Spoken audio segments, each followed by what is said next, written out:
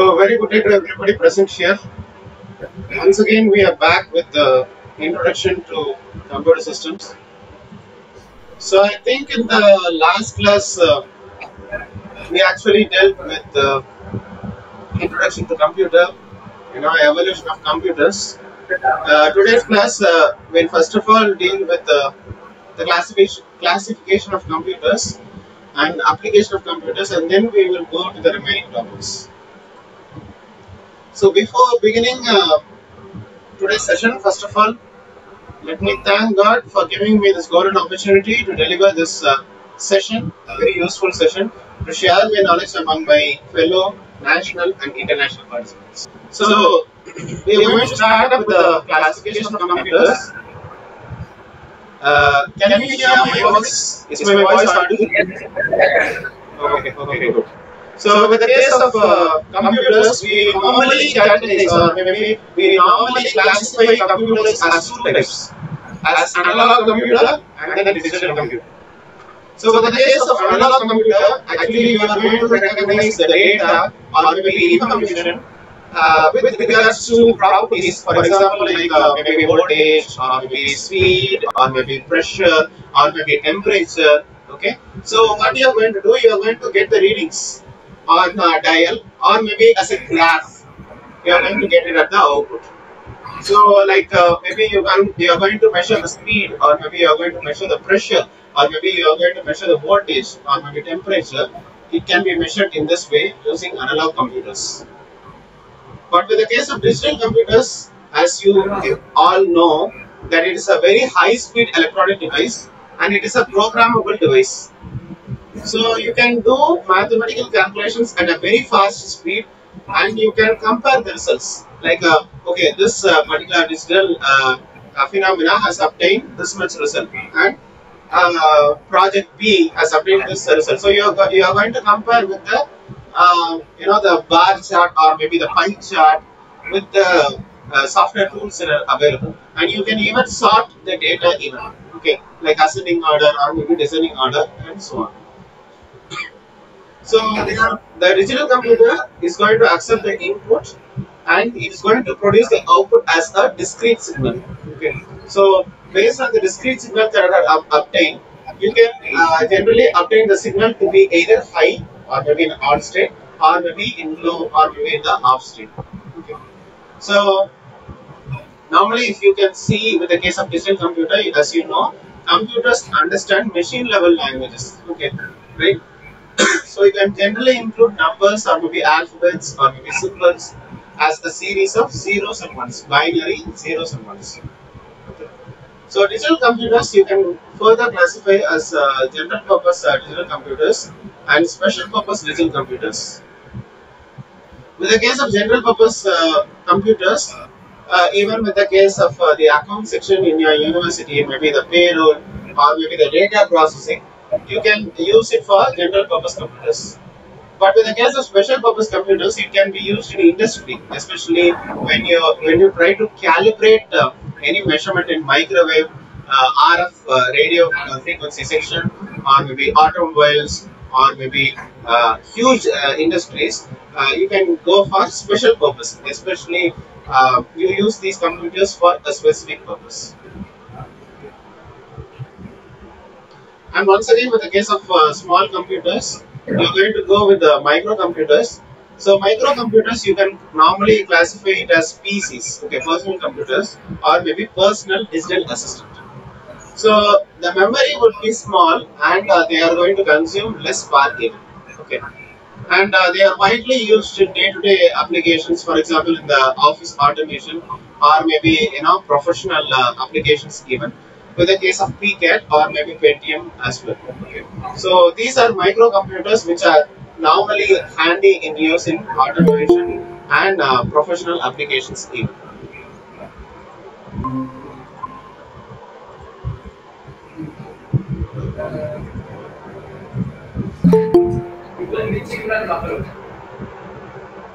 So with the case of uh, notebook computers or maybe the laptop computers, they are suitable in nature. So it, is uh, handy, it's very uh, easy to maintain as well and uh, they are battery operated. Okay. For example, in the case of storage devices like uh, maybe CDs or maybe uh, floppy disks as well, and uh, maybe the output devices like printers, they are connected to the computers. Okay. So notebook computers uh, generally uh, very small in size, like uh, like in the case of notebook, it's very small, very handy in use than a laptop computer. Uh, it is similar to your tab. Okay, right? So however, both have powerful processors, they support uh, graphics as well, and uh, it can accept mouse-driven input as well. So in the case of classification of computers, we have like a microcomputer, what uh, we discussed over here. This is a microcomputer, and this is a notebook or a laptop. Okay, and then you have a handheld computer. So this is uh, similar to your tab. Okay, right? So these are the various uh, classification of computers.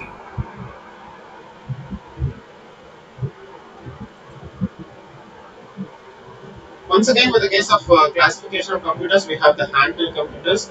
So mainly used in uh, collection of field data.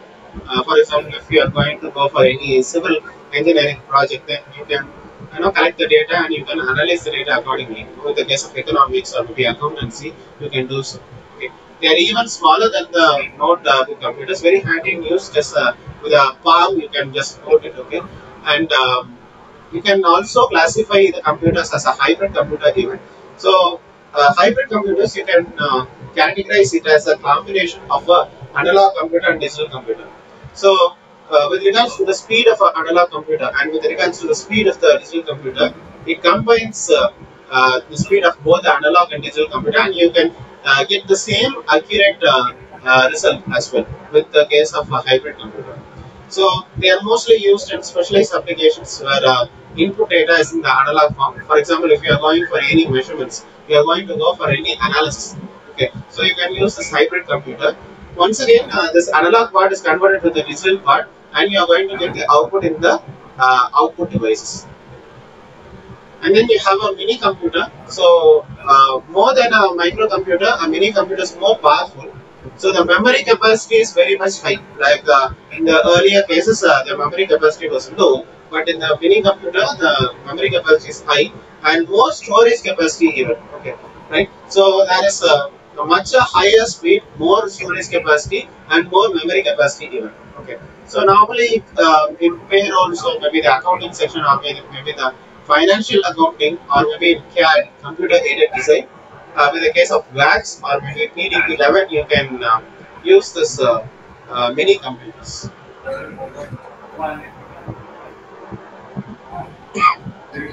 Next, you go for a mainframe computer. Actually, it's a very large computer. Uh, it's going to process at a very uh, larger speed, like maybe within seconds, you are going to process several million instructions. And they are also connected to a microcomputer even. Uh, even in the case of large industries or maybe organizations, with the case of government departments as well, you can use as mainframe computers. and one such example is IBM. Okay, IBM 4381 or maybe CDC.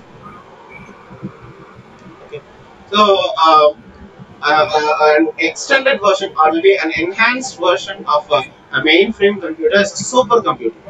So supercomputer is very fast. It's more powerful. It's not bulkier. It's not bulkier, and the size is very less. Okay, and most expensive because in order to uh, process complex tasks, you use a supercomputer.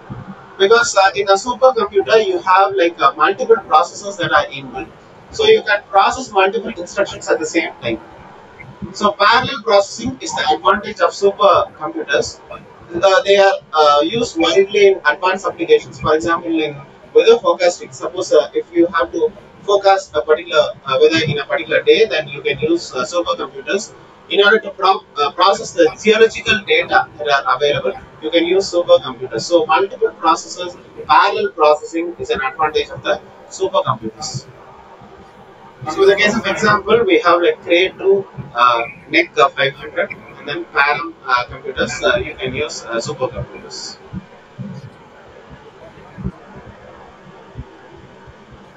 And then with the case of application of computers, you can use this uh, computers in uh, scientific uh, field, engineering and research field.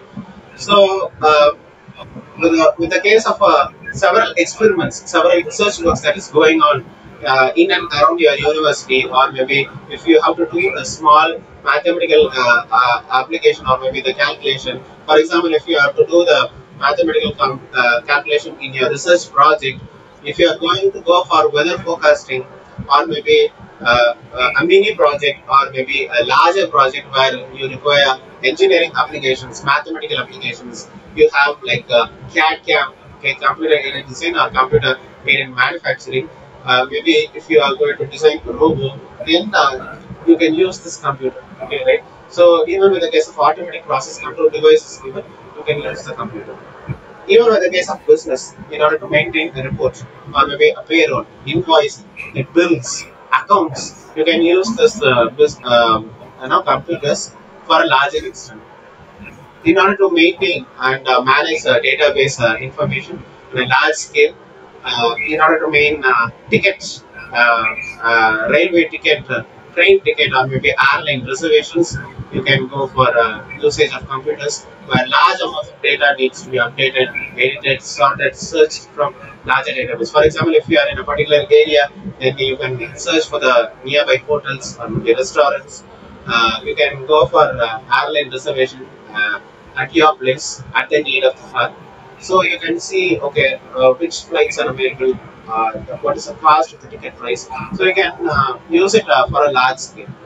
Even with the case of medicine, okay. For example, um, uh, if you are in a remote particular area, and uh, uh, for example, in this COVID uh, situation, uh, maybe if you need assistance from a particular doctor, so the doctor can sit in his or her own place, and he or she can monitor your pulse rate, or maybe blood pressure, or maybe the um, the temperature uh, of your body. Okay, so still with the modern tools uh, uh, that are available, you can actually go with a faster and accurate diagnosis uh, with the help of the computers. So the modern uh, day medical equipment are highly computerized today, and uh, that's the reason uh, we are using the computers for a larger uh, medical research. And with the case of information, you're going to use it in television or maybe satellite communication, internet networks. You cannot imagine a life without internet. Okay, so information uh, plays a vital role. So you can use computers even. Even with the case of uh, education, even uh, the students uh, tend to build a more logical ability. So, like uh, storage of information in the case of a series, in the case of different uh, subjects, you can impart the education and online training, like uh, especially during the COVID uh, days, uh, you can use this. Uh, online tools with the help of the computers, encyclopedias, you know, Wikipedias, dictionaries, books that are available in the digital form. Maybe in the future there might be a situation where you need not have physical libraries. You will have digital libraries. You might have access to the software tools that are available. And uh, even with the case of creativity, drawing or maybe painting, even with the case of Paint 3D or maybe Photoshop or maybe animation tools, uh, gaming softwares, even with the case of designing, decoration, music, even uh, it's well developed with the case of computers. And in the case of uh, games and entertainment, uh, computer games are more popular with the children and even in the adults too. So you can uh, you know download movies. You know you can get access to the live telecast of the maybe the uh, football or maybe the basketball or maybe the cricket sessions. Uh, advertising, uh, digital uh, marketing, even you can use uh, games and entertainment with the help of the computers. So we are going to go with the advantages and disadvantages of computers, um, similarities and differences between a human and a computer. We are going to see the similarity and then we are going to see the differences between a human and a computer. And then we are going to go with the, a computer system. Components of a computer system we would uh, finally control. Okay. Right. So, uh, at a glance of uh, the second part of today's class, we would go with the advantages and disadvantages of computers. Next, uh, we will identify the similarities between a human and a computer, and then we will identify the difference between a human and a computer. Uh, we would go in detail with the basic uh, computer system and what are the components that are available with the computer system. With the case of uh, the advantages of a computer in terms of the speed. Uh, you know, you, uh, everybody knows that a computer can process within seconds. Okay, right? Uh, even with the case of uh, milliseconds, 10 power minus 3 second, or maybe microseconds, or maybe in nanoseconds, a computer can perform actions of a human uh, very fast. Okay, so you can consider computers as super fast machines, and uh, so that you can process millions of instructions within a second. Okay, right? So thousands of instructions uh, it can be processed within a second, and uh, you know, uh, several complex machines can uh, execute uh, millions of instructions per second. And in the case of accuracy, computers are very accurate even. They are capable of handling uh, several hundreds of instructions without error. So you can see it as a very accurate, super fast machine, and they do not compute mistakes just like a human being. For example, uh, in the case of a human being, human being tend to make errors when they when they get tired. Uh, maybe their uh, the body doesn't cope up with the standards, but uh, the computer doesn't get tired. Only thinking how to charge your computer. Okay. And they perform each and every calculation with the same accuracy. And uh, in terms of efficiency, efficiency of the computer doesn't decrease with, with age. Like uh, for example, if uh, a human being uh, gets old by maybe 40 years or maybe 50 years or maybe 60 years, their uh, physical capability, mental capability tends to decrease. But uh, computers doesn't decrease with age. Only thing you should charge it very clearly and you should update it. You should upgrade the computer. So computers can perform repeated tasks with the same efficiency any number of times. So uh, computer doesn't get exhausted. Okay. So even if you have to execute millions of instructions, then uh, it uh, executes with the same speed and efficiency without any exhaustion.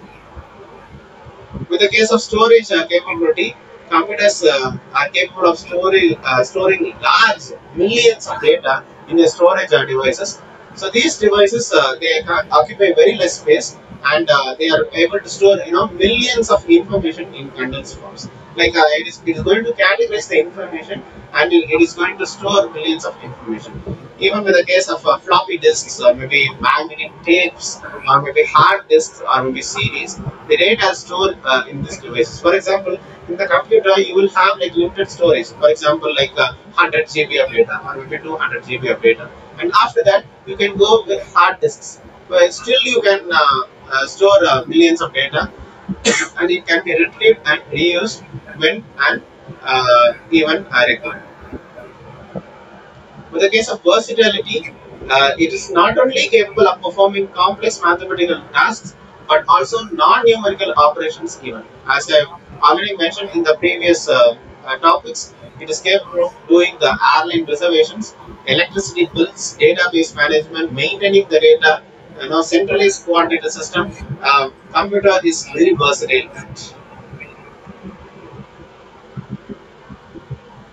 And in the case of limitations of computers, the disadvantage of computer, a computer cannot think on its own because uh, it doesn't have its own brain. So only if you program, then uh, it is going to perform some actions. It can execute only the jobs which is having like a finite set of instructions. It, and uh, also the instructions should be clearly defined. Only then it will process the uh, input and it will be producing the output. And computer doesn't learn from prior previous experience because uh, normally human beings uh, we, tend to you know memorize. Okay we are getting some uh, real life uh, situation at uh, age uh, 10 now we are going to apply the same. So computers do not learn from previous experience or they do not come at a conclusion through the intermediate steps. Okay. So however the impact of computers on today's society is phenomenal and you cannot imagine a life without computers today or maybe internet Now we are going to identify the uh, similarities between a human and a computer and then we are going to see the difference between a human and a computer. So computer as you all know it's very effective and efficient machine. Several uh, activities can be performed within seconds or maybe minutes or otherwise uh, within several days it is performing naturally. Okay. So whether when it comes when it comes to accuracy or maybe completing tasks, computer is very much faster, it's very much accurate than a human being. So this is actually the similarities between a human and a computer. So just like a human has ears or maybe nose or maybe eyes, a computer has input devices, for example, like keyboard or maybe scanning a particular information using a scanner. Uh, you have a screen, you have mouse even to get the information. So just like we remember things, computer stores information as storage devices with using magnetic disks, magnetic tapes, or maybe hard disks even. And uh, we recollect uh, certain information as required. But a computer also retrieves information, get the uh, information. For example, in the case of computer, we try to search a particular information or particular data or maybe a particular file. Then it searches and uh, gets you the results. We express ourselves by speech. We are writing, and computer it expresses through screen. Okay, it has a, a digital coder or maybe digital uh, software tools that are available, and you can experience printouts whenever we call it as output. When we watch, or maybe when we hear, or maybe when we learn certain things, and we are going to analyze. Same way, a computer can analyze information and draw conclusion with the help of various softwares, various applications, various tools that are available. And uh, a human can actually has a place where we store and analyze, where, where what is called to be the human brain or the heart. And similarly, a computer uses uh, a storage device or maybe a main heart called the CPU. This CPU, you call it to be the central processing unit where it actually analyzes the information.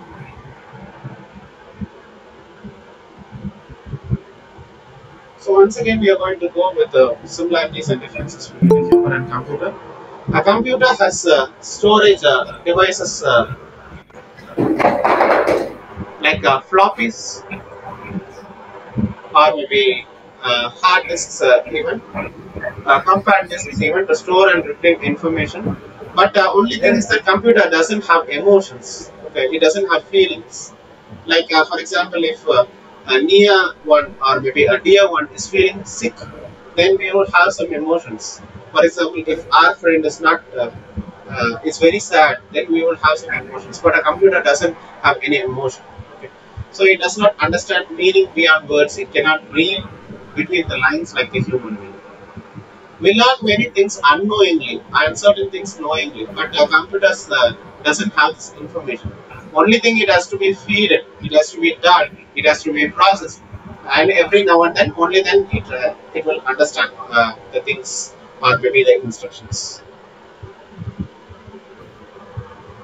Next, we are going to go with the computer system, a normal uh, computer system.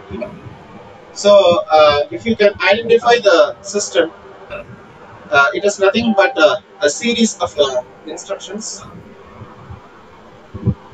So, uh, you have like uh, uh, several integrated parts that are designed to achieve a common objective. So, a system is nothing but a centralized application where uh, you get access uh, to the information and you are going to integrate it to achieve a common objective. It can be one element or it can be more than you know, multiple elements even. Every element is going to perform a specific function where all the elements are logically related and uh, controlled in the same way so as to achieve the goal. So if you take in the case of a computer system, it has CPU, central processing unit, you will have input device, you will have output device and you will have storage device. So in my future lectures, I will be going with the, now the input uh, device and output devices and then we will go with primary storage devices and the secondary storage devices. So each of these units, uh, it would be performing a specific task. So you can say that um, none of them can work independently on their own. Okay, only thing you have to process, you have to feed, you have to input the data, and they are logically related and uh, controlled to achieve a specific goal. Okay. So only thing if you have like integration, then uh, you can say it as a complete computer system. So with the case of components of a, a computer system, so the basic uh, uh, components uh, you have uh, you know the input uh, unit, central processing unit, and then you have the output unit. So this is actually the block diagram or the schematic diagram of a central processing unit. You have the input unit, you have the CPU, where you have the memory memory unit, arithmetic logic unit, control unit. Okay, so this is uh, actually the central processing unit where uh, you have the data flow or the data information and uh, control flow or control information takes place in CPU and then you get the output. So in the memory unit you have like uh, storage devices, uh, you store the information. In arithmetic logic unit you process the arithmetic and logical functions that are available like uh, what you discussed in the earlier classes with uh, addition, subtraction, multiplication, division, and then logical operations. Maybe compare, uh, and, or, not operation. And then you control the information, and then you are going to process the information to the outputs.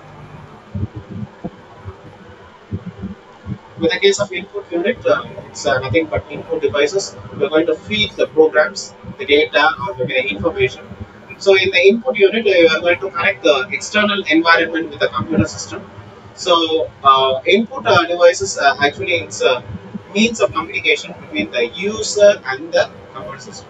So input device it's a it's a intermediator between uh, user and a computer system. Through input devices you are going to enter the information. For example, you can use the keyboard to enter the information, or maybe the floppy disks to feed the information, or maybe the mouse to actually track, microphone to actually speak where the information is being given or maybe a light pen where you are going to show the information or maybe the joystick where you are going to you know the feed the data or maybe the magnetic tapes as well where uh, the information can be fed or maybe input. So the way in which the data is being fed is uh, different. So uh, uh, processing is same, but uh, how we feed the information or how we input the information differs.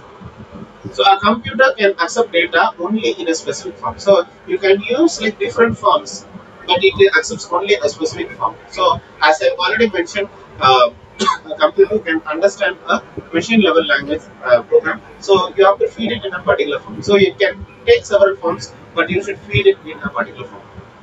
So these uh, input devices, they transfer the data that is uh, fed to them and it can process them and it, it, can produce the output via the computer.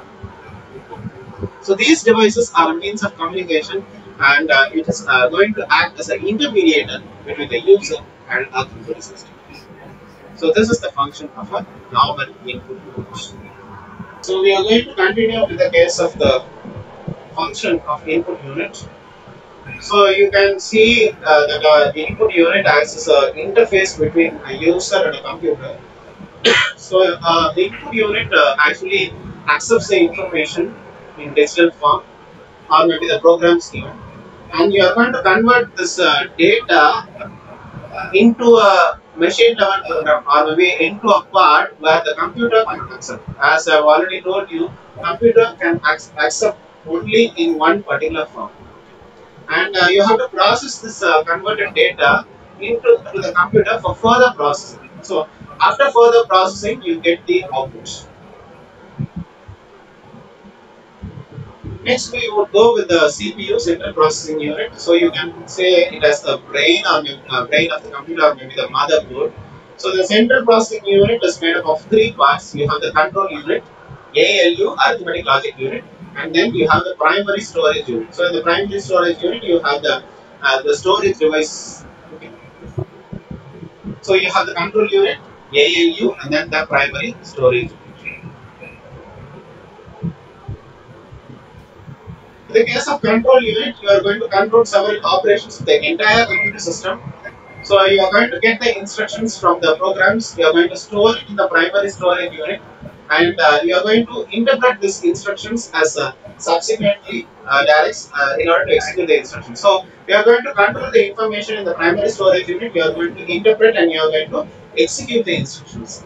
Also, it, it serves as a very powerful management and coordination unit for the entire computer system. So, entire operations, you can uh, call it to be the manager. You are, you are going to call it as a coordinator where you control all the operations within a single unit.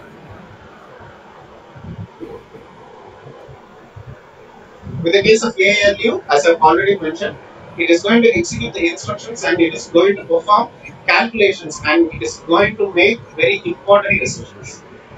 May it be simple decisions or maybe complex decisions. uh, the de- decision maker is the arithmetic logical unit. So the data is uh, stored in the primary storage unit and then it is transferred to ALU where important decisions or maybe calculations are performed in ALU. So data can be moved from the primary storage to the arithmetic logical unit several number of times before the processing is complete. So you can perform addition, subtraction, multiplication, division, logical operations and or not and storage of information, the primary storage, everything is done over here and after that it goes for the processing for CPU. After the complete, uh, I mean the, complete, the completion, the results are actually uh, sent to the uh, output storage section and then the output is actually displayed using the output devices. With the case of primary storage unit, uh, it is uh, called as the main memory. So before the actual processing, you have to feed the instructions in this main memory through the input uh, units. So here the data which is to be output from the computer is temporarily stored in the primary memory. So before processing all these instructions, you have to feed it into this uh, the primary memory. So where the intermediate uh, results of the calculations are stored. For example, let us take the case, uh, okay, uh, like uh, uh, uh, maybe uh, 7, uh, sorry, 5 plus 2 plus 2 into 4 plus 3 uh, divided by 1. Let us take in this case. So for the first case, uh, 5 plus 2 it is going to store. And then the second case with 3 into 4 it is going to store.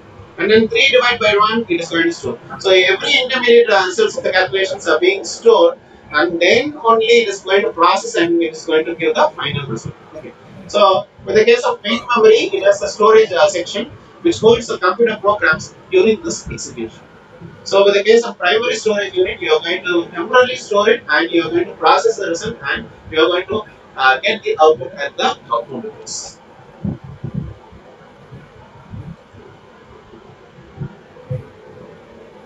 So these are functions of the primary uh, storage unit. So what it does is uh, it is going to uh, store the data and programs using the actual processing. Okay. So the information is being stored and uh, the programs uh, are even stored for the actual processing.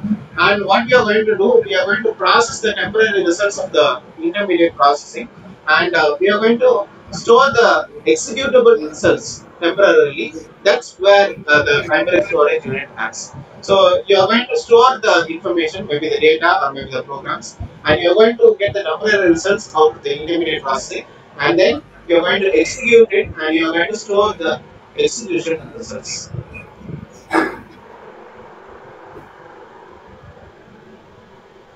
Finally, you have the output unit. You are going to get the results, the computations of the outside world. So after getting the results, because it is in the maybe the binary form or maybe the computer understandable form, what you have to do is you have to convert these results into human readable form and you are going to supply it to the users. So normally like uh, in the case of printers or maybe plotters or maybe display screens, magnetic discs, magnetic tape drives, okay, optical devices, we are going to go with the uh, uh, output uh, devices where you are going to process the results in a human readable form and you are going to supply it to the users. So this is the function of the output. In the case of you several computer devices. I'm